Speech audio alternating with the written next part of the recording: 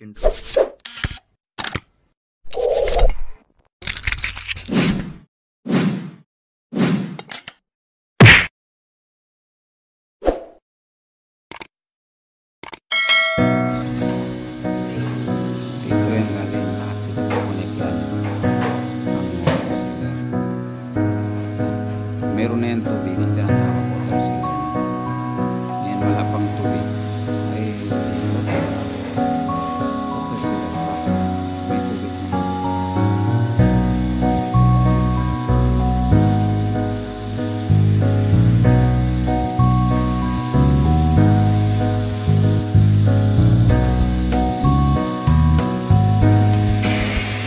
Ayan, kami po ay tag-operation ng mga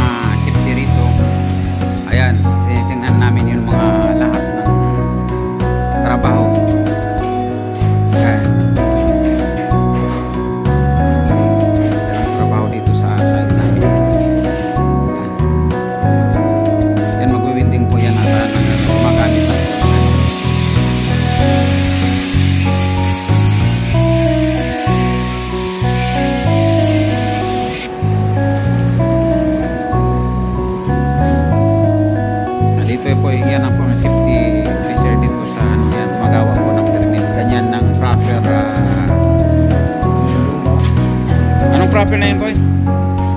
proper ah, building ba yan? hot work permit ha? the issuing of hot, hot work permit in the site ayan